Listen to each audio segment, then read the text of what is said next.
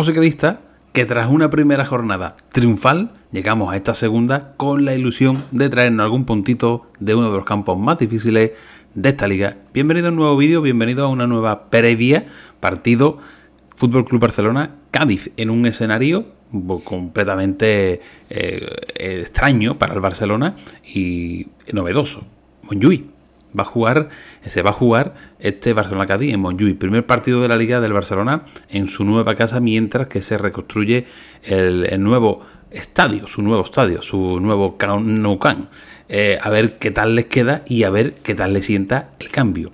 Porque este año tienen menos abonados de lo habitual, porque se prevé en principio que, la cosa va a estar un poco rara allí, pero a ver, a ver cómo se aclimatan y nosotros pues llegamos o tenemos que ir allí a intentar sacarle algún puntito y no somos nuevos en estas labores, ¿no? Porque ya al Barcelona, desde nuestra vuelta hace ya, está ya la cuarta temporada en primera división desde que volvimos, hemos conseguido ganarle un partido en su campo y también hacerle un punto en otra ocasión. Además, siempre solemos dar buena imagen de equipo muy trabajado y de equipo eh, que sabe bien lo que quiere y lo que se hace. Y eso es lo que se va a intentar volver a lograr en esta ocasión. Sacar algún puntito, seguir en una zona cómoda, seguir llenando el surrón de puntos para llegar lo antes posible a esos 40 que prácticamente te suelen dar la salvación.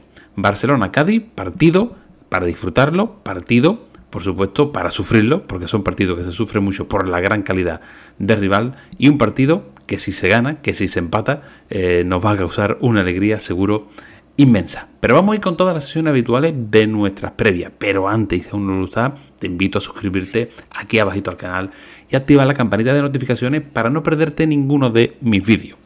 También darle las gracias a los patrocinadores de estas previas, FETEX, también a Cervante 12 by FedEx y a tuberaoil.com, que también patrocina el canal. Muchas gracias a los tres patrocinadores. Y vamos de pleno con, con la sesión habitual. La primera de todas suele ser las convocatorias. Ahora mismo no cuento con ellas. Sabéis que el Cádiz tiene la baja importante de Escalante y la gran duda de Fede San Emeterio, que tiene un problema en la rodilla. No sabemos si acabará llegando al partido. Esperemos que sí. El que sí se la pierde y también por problemas en la rodilla es Meré, que no va a estar, no estaba siendo titular en principio, pero sí está claro que es un jugador que se suele utilizar en muchos partidos y no va a poder estar en defensa en el en en este caso. Así que el Barcelona también va con la baja de Rafinha, como sabéis, pulsado el último partido, y Araujo, que también se ha lesionado en estos últimos días. Así que directamente pasamos, una vez sabida más o menos cuál puede ser la convocatoria, a eh, el Barcelona. ¿Cómo llega el Barcelona? Que llega tras un partido, el primero de liga, durísimo, muy duro, ante el Getafe, en Madrid. Un partido donde se repartió bastante, eh, fueron a una batalla campal prácticamente y salieron creo que, mal parados, ¿no? Porque perdieron a Rafinha, que lo sacaron de su casilla, porque no consiguieron ganar el partido.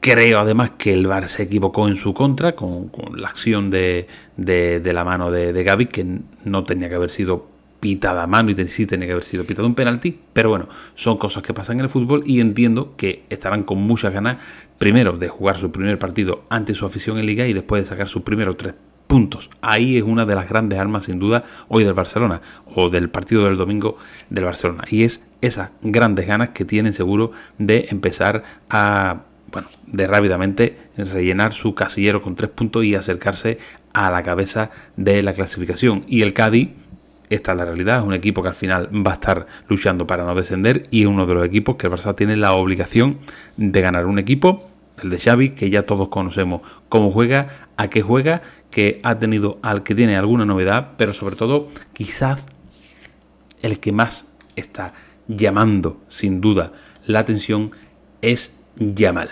Yamal que además tiene posibilidades de ser titular. Aquí vemos un posible 11 de Xavi para este partido contra Stegen de portero, Christensen y Kunde en defensa, Valdé y Sergi Roberto en las bandas. El centro del campo para Oriol Romeo, uno de los nuevos, eh, eh, eh, De Jong y Pedri un poco más adelantados, Yamal por la derecha, Gundogan por la izquierda y Lewandowski como delantero podría ser este es uno de los 11. También, ¿por qué no? Podríamos ver de titular a Gaby, quizás por Yamal, un poco más, un poco más eh, abierto a banda, pero bueno, en principio este es el 11 que ponen como más probable y podemos más o menos creo que fiarnos bastante de que así puede eh, llegar a ser.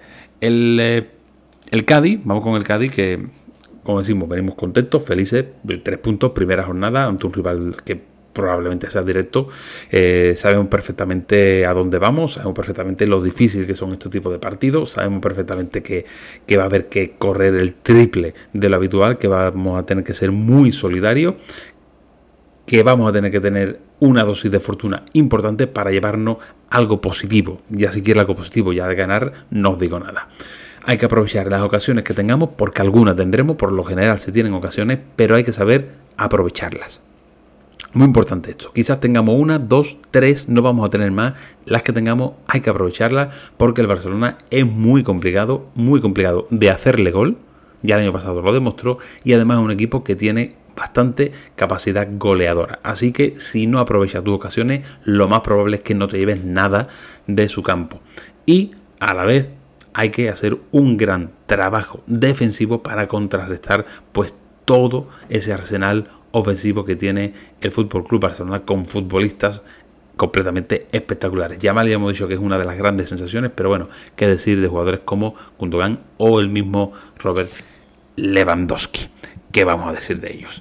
El Cádiz que llega con esa posible baja de Fede y esa es la que a mí me deja un poco más descolocado y no me gusta nada. No me gusta nada porque creo que Fede si no está Escalante, es un futbolista completamente primordial en este equipo. Este es el 11 que yo creo que va a sacar, que es el mismo, he puesto el mismo que la semana anterior. Vamos a dejar, vamos a decir que dejamos a, Fede con duda, con la duda de, de que si es o no es titular. Yo lo veo muy dudoso, si ha tenido molestias, incluso creo que no va a ser titular. Pero yo lo pongo por porque quiero que sea titular, ¿no? Porque creo que es muy importante. Y si hay una mínima posibilidad de que va a rendir a tope durante al menos muchos minutos, va a ser titular Fede seguro. Así que en principio saldremos, creo que con Ledesma, Iza por la derecha, Javi Hernández por la izquierda, Fali Luis Hernández de centrales, Fede con la duda, si no es Fede entiendo que será o Alex o José Mari, o Ale o Osemari, uno de los dos. Rubén Alcaraz, creo que es súper fijo. Por la derecha Iván Alejo, creo que hizo buen partido el último día y que será titular. Machi por la izquierda. Y arriba Roger Martí y Cris Ramos. ¿Hay opciones de que entren otro futbolista? Pues sí. Pues sí, podría entrar alguno más. Pero quizás el único cambio que yo veo aquí es lo de Fede y probablemente lo de Iván Alejo por sobrino. Pero después del partido de sobrino en la primera jornada y después de lo que vimos Iván Alejo, creo que Iván Alejo ahora mismo tiene ganada, desde mi punto de vista, la titularidad por delante de Rubén Sobrino. Y llega el momento porra. Vamos a intentar adivinar qué va a pasar en el partido y aquí tú pues te tienes que ir a los comentarios y decir eh, goleadores, resultado y goleadores, ¿vale? Resultado exacto y goleadores. Yo también voy a decir, uno vamos a decir y un 2 a 2 partidos con goles, partidos bonitos, atractivos. Este es de los partidos que puede haber goles que puede haber espectáculo, que, no pasa absolutamente nada. Eh, dos goles a dos. Goles eh, para, para, el Cádiz de uno para Roger Martí, que se tiene que estrenar lo antes posible. Y vamos a darle otro a Darwin Machis, que también necesitamos que se vayan estrenando la gente de arriba. Ya te toca a ti, ¿eh? abajito, comentarios, resultados y goladores. Y hasta aquí. Siempre digo lo mismo cuando llegan estos grandes partidos ante grandes rivales. Disfrutar. Un partido para disfrutar, para pasarlo bien. Sabemos que es un partido muy difícil de sacar adelante, que si se saca algo, pues gloria, pero todos sabemos las dificultades que, tienen este tipo de partidos. Pero al menos vamos a disfrutarlo, vamos a quedarnos con todos esos momentos que seguro van a ser únicos y se nos van a quedar en la memoria por mucho tiempo. Nos vemos una horita en un vídeo nuevo y ese Cádiz. Oye.